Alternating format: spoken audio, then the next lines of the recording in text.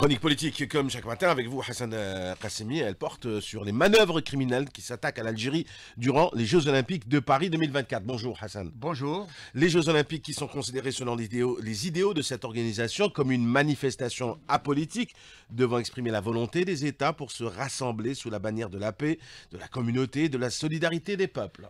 Effectivement, euh, les tensions extrêmes prévalant dans les relations internationales n'ont laissé aucun champ à l'abri des confrontations géostratégiques, où les coups bas sont décisifs et déterminants.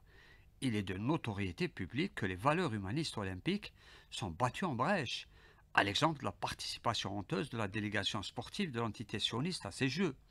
Le président Herzog, de l'entité sioniste, dont les mains sont tachées de sang, a participé à la cérémonie d'ouverture des Jeux olympiques à Paris, alors que son premier ministre Netanyahu continue de recevoir les faveurs et les, soutiens de l'Occident, l'encourageant à continuer à exterminer massivement les populations civiles palestiniennes, sans toutefois soulever la réprobation, la condamnation occidentale, notamment l'exclusion, pourquoi pas, de ces indus participants aux Jeux olympiques.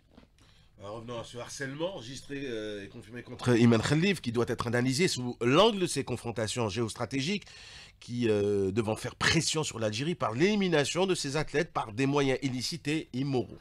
Il y a des indices qui ne trompent pas, nous indiquant l'existence de manœuvres subversives aux frontières de l'Algérie, consistant à vouloir bloquer les grands projets de l'Algérie avec nos partenaires africains, notamment le gazoduc algéro-nigérian et les zones de libre-échange pour freiner le commerce intra-africain. L'Organisation internationale de la boxe, un satellite des forces subversives, a fait une guerre moyenâgeuse à Iman Khalif. Les moyens les plus obscènes et immoraux ont été utilisés pour la disqualifier. Iman a combattu sur les rings et en dehors du ring pour sauvegarder son honneur et sa dignité. La politique s'est invitée avec fracas dans les Jeux olympiques où des personnalités internationales de premier plan ont déclenché le halali contre Iman. Même le Conseil de sécurité a été instrumentalisé par un membre permanent de ce Conseil qui a repris à son compte de viles campagnes de dénigrement contre l'Algérie.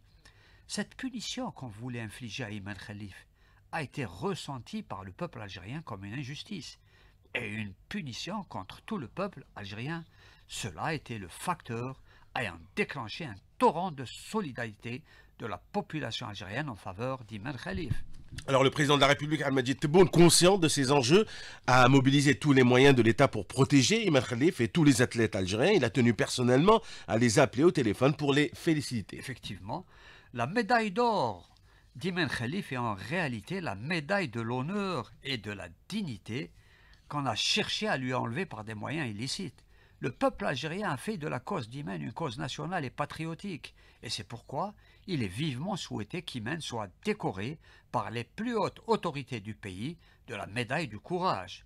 La morale de ce que nous avons vécu avec Iman Khalif, avec courage et indignation, nous a appris que nous évoluons dans un monde sans foi ni loi, où c'est les nations nantis qui continuent à nous infliger des guerres coloniales pour attenter à notre dignité, à notre liberté. Ce sont là les véritables enjeux géopolitiques de cette cabale et toute cette hostilité contre l'Algérie qui doit provoquer chez les Algériens le déclic psychologique et politique pour renforcer notre unité nationale et notre front intérieur. Après avoir savouré les délices de sa victoire, qui a été consacrée par une fabuleuse médaille d'or, le temps de la justice est arrivé et Iman Khalif vient d'introduire plusieurs actions en justice contre les auteurs de cette campagne virulente de dénigrement et de d'harcèlement dont elle a fait l'objet durant les Jeux olympiques de Paris.